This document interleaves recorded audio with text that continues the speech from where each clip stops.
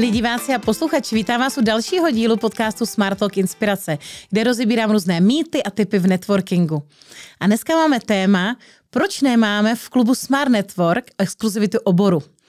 Pro vás, co netušíte, co tím myslím, tak většinou v ostatních klubech, to nebudu jmenovat, ale prostě je to různě v České republice, i na Slovensku, eh, a takhle se to tady i zavedlo před těma 13 lety, kdy přišel networking do Česka, tak začalo, že je tam vždycky jenom jeden za obor, takže je tam třeba jenom jeden z IT oboru, jo, nebo z IT firmy, jeden z marketingu, jeden advokát, jeden z účetní firmy, jeden coach, jo, jeden třeba finanční poradce, jeden realiták, jeden lektor.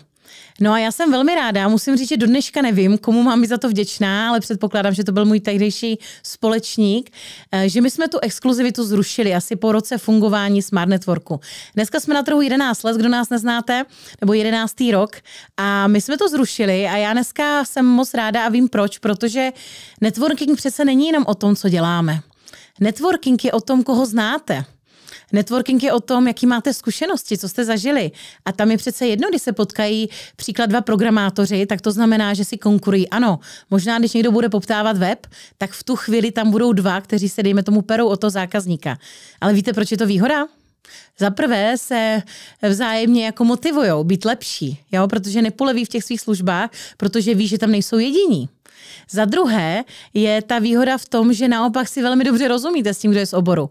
Kdo jiný vás pochopí, když máte stavební firmu jako ten, kdo ji má taky, jo, nebo je z toho oboru, nebo když máte výrobní firmu nebo strojírenskou. Takže naopak lidé velmi rádi potkávají ty ze stejného oboru, pokud jsou samozřejmě nastavení tak, že chtějí sdílet a že jsou otevření, že to neberou jako, no tak to by žádný know-how neprozradím. Dneska prostě funguje i to, že můžete někomu prodat konzultaci, takže je taky vlastně váš klient. A mně se stalo několikrát, fakt jako to ani nemám spočítaný, ani to nejde, kdy se tam právě, proto jsem řekla, potkali dva programátoři a nakonec spolu udělali firmu. Nebo dva grafici, eh, nebo dva fotografové a naopak si dohazují zakázky. A to je to, proč my nemáme exkluzivitu a nikdy mít nebudeme eh, protože e, není to o oborech, je to o lidech. A když si představíte, že tam přijdete jako účastník, říkáte si, no ale já tam nechci potkat pět finančních poradců, to vždycky slyším.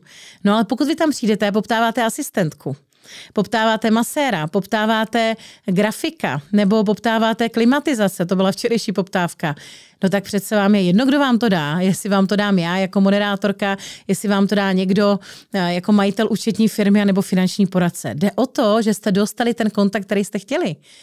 A naopak, eh, my nejsme přece to, co děláme jenom. My máme nějaký kontakty doma, eh, my někoho známe a možná jsme předtím dělali něco jiného, co pro vás bude důležitý. Takže pokud posloucháte tento podcast, tak bych byla moc ráda, kdybyste si to změnili v té hlavě a příště, až půjdete na nějakou networkingovou akci nebo jakoukoliv jinou, tak nekoukejte na ty obory, nekoukejte na profese, ale jenom sledujte, jestli ten člověk je ochotný sdílet svoje kontakty a zkušenosti. Protože to je oč tu běží v networkingu. A bohužel jsem zatím eh, stále možná jenom já, která to vidí, nebo jedna z mála, která to vidí, ale vím, že už moji členové taky a hlásám to dál. A moc si přeji, eh, abyste to šířili, protože opravdu nejde přece o to, co děláme. A někdo má i těch profesí víc. I já jsem ve trojroli, pokud jste slyšeli nějaký můj jiný podcast, ale přece ačkoliv někoho nemusí zajímat, jestli jsem moderátorka, lektorka eh, nebo konzultant ve vzdělávací firmě nebo majitelka klubu, kde, kde jde právě o to, že mám hodně kontaktů, eh, tak jde právě přece o to, že můžu znát to, co vy potřebujete, můžu vám dát tip, kdo vám to zajistí. Někdo si myslí, že jediné kontakty, které znám, jsou ty, co jsou v klubu ale vy vůbec netušíte, kdo tím klubem prošel a já samozřejmě neznám jenom lidi v klubu.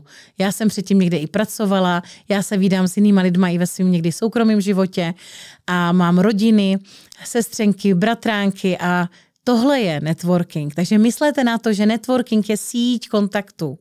A není to o tom, jaký obor tam sedí. Ale samozřejmě ten argument chápu, eh, ale pokud byste hledali finančního poradce, tak já věřím, že i tak bude skvělý jich tam potkat víc, ať si můžete vybrat. Každý má jiné služby, s každým si jinak sednete, můžou mít jiné zkušenosti a hlavně to, u nás na žádné akci nejsou stejní lidé, neustále se mění a musím vám říct, a to opravdu za 11 let se u nás nestalo, že by se potkali víc jak dva nebo tři a stejně jsme si hned řekli, že nedělají to samé.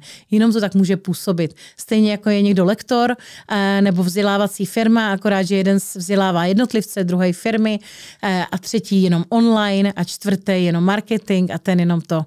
Takže opravdu nesuďte lidi, koukejte se ze široka a hlavně věřte, že když potřebujete nějaký kontakt, tak na oboru nezáleží.